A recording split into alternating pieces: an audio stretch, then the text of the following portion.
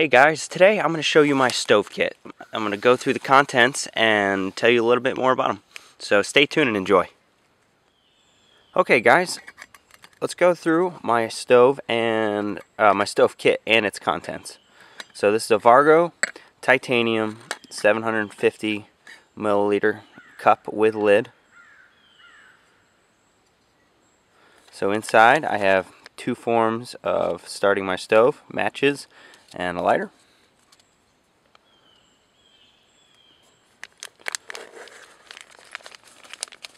And then we have pieces to the stove. I like to keep them separated in a, in a Ziploc baggie. And then we have the stove. So the stove I keep wrapped up in a cotton bandana just to keep it from rattling around on the inside. Um, so this is the Mini Ring of Fire by Stove Eater, not, or sorry, this is a Mini Ring of Fire by Smoke Eater 908. So, so alright, so here is my stove, my boiling cup, my 750 milliliter cup, and with its little lid.